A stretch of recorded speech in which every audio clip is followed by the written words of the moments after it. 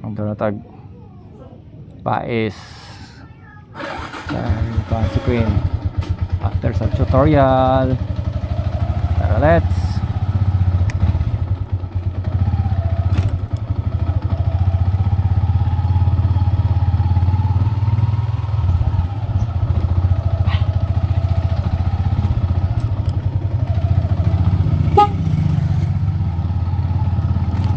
Oh my